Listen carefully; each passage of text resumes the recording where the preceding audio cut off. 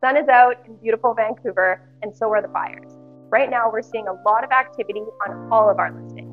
Hi, I'm Cheryl Davy with the Hill and Harbour Real Estate Group. Last month in June, we saw 5,700 new homes hit the market, and 2,400 of those sold. That's a consistent pattern over the past few months where we're not seeing the number of sales meet the new listings that are coming on. Sellers are all very keen to get their properties on the market right now. If we look and compare to this time last year, our listings, they're up by 7%, but our sales were down by 20%. For the first time in a very long time, what I noticed is that pricing was affected across all sectors of the market. They were down by less than 1%, but it's still notable. We measure the speed of how, things, how quickly things are selling by our sales to active ratio.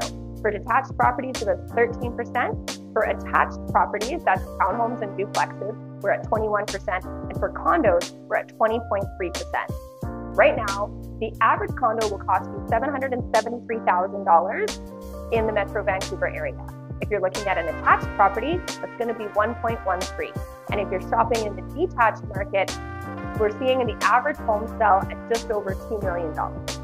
Earlier today, we saw new jobs numbers come out.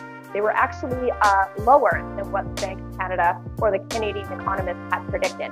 This is all playing into potentially another rate cut happening at the end of July. So if you have any questions about how the market's going, or you're thinking about buying, or you want to get listed, reach out today we always want to chat.